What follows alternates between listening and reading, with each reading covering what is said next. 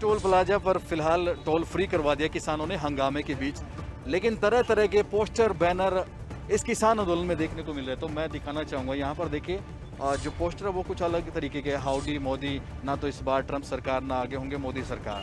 तो ये लोग पंजाब से आए हैं तो किसान आंदोलन जा रहे हैं, पूछना चाहेंगे इनसे। ये जो पोस्टर आप अलग तरीके के बना रखे हैं तो कहाँ जा रहे हैं? इसका मतलब देखिए इसका मतलब ये है कि जो भी डिक्टेट डिक्टेटोरियल हमारे जो भी नेता आते हैं चाहे वो ट्रंप हो जिन्होंने अपनी कुछ गलत पॉलिसीज़ थी जिसकी वजह से काफ़ी देर बाद वो एक प्रेसिडेंट थे जो सेकंड टर्म में जीत नहीं पाए।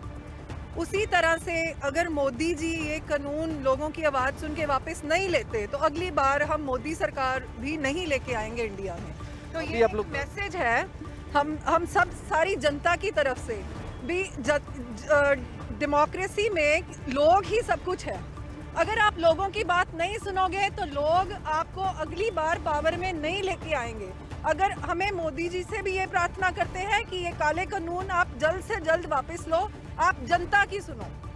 क्या लगता है उनतीस दिन हो चुके हैं सरकार मांगे माने? क्योंकि मांग मान नहीं रही है अब बातचीत बातचीत छह दौर की बातचीत हो चुकी है उसके बाद भी नहीं मानी। अब क्या लगता है आप लोगों को? हमें क्या वो उम्मीद है या वो हौसले अभी भी हैं? हमें, हमारे हौसले अभी भी उतने ही बुलंद हैं, उससे भी ज़्यादा है। हम मोदी जी को ये बात कहना चाहेंगे कि आप जल्दी से जल्दी मांगे, मांगो। आप पहले ये तीन काले कानून वापस लो, जल्द से जल्द हमारी बात सुनो, क्योंकि ये सर जो किसानों के हित में, इसमें कुछ भी नहीं है।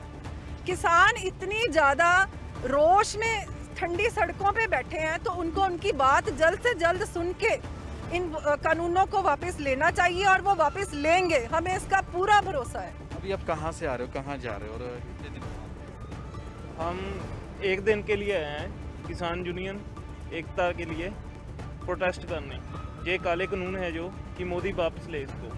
ये एक तरफा ही किसान मारू कानून है सब ये। हाँ जी पंजाब पटियाला से आए हैं। तो ये देखिए, ये ग्रुप जो है पंजाब के पटियाला से आया और तरह के जो इनके पोस्टर वो अलग ही तरीके के हैं। मोदी के साथ इन्होंने ट्रंप को भी जोड़ा है और यहाँ पर इन्होंने कहा कि हिटलर शाही तानाशाही दिखाई दे रही हिंदुस्तान के अंदर। तो आंदोलन की कई तस्वीरें आप लगातार देख रहे हैं अलग अलग तस्वीरें आ रही है। फ़िलहाल पानीपत टोल प्लाजा पर यह तस्वीर आपके सामने है और पानीपत टोल प्लाजा फ़िलहाल किसानों के हंगामे के बीच से टोल फ्री हो चुका है।